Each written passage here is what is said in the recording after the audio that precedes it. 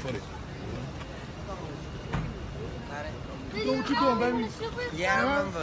Keep doing what you doing. Thank you, bro. Can you, can you do a song for her, please? Tírame una foto. Be square, you already know. Oh, He in Brooklyn. Come I'm not mad. right. She, she's ready. Yeah.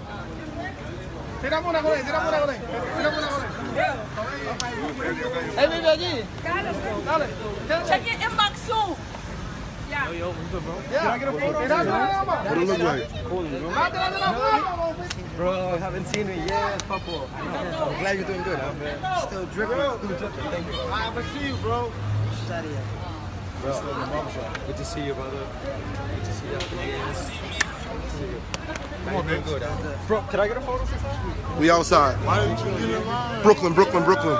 Excuse me, excuse me. Excuse me. Update Tekashi reportedly told the police a different story from the one that was revealed via TMZ. According to police who spoke to the outlet, the rapper told them he was in a Chevy Tahoe and was hit from behind by another car.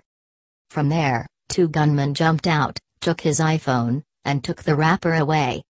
From there, they went to the rapper's house, made him call his baby mama so that she could bring down his jewelry and money.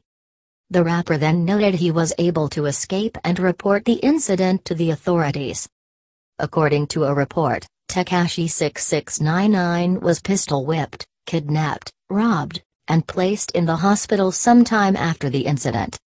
Sources who spoke to TMZ said the rapper was working on a music video early Sunday morning in Brooklyn and rapped then made his way home. After pulling up to his crib, he was met by another car where three gunmen got out, approached the rapper and pistol whipped him, knocking him out. From there, the rapper allegedly was being driven around while being told the robbers' demands, which led them back to Tekashi's home where they reportedly took $750,000 in jewels and almost $20,000 in cash. The gunman allegedly drove off with the rapper still in the car after they robbed him, but Tekashi was able to escape out the back door of the vehicle. Tekashi allegedly jumped in the car of a stranger and asked them for help, which led the stranger to call 911. From there, an ambulance pulled up and took the rapper to a hospital.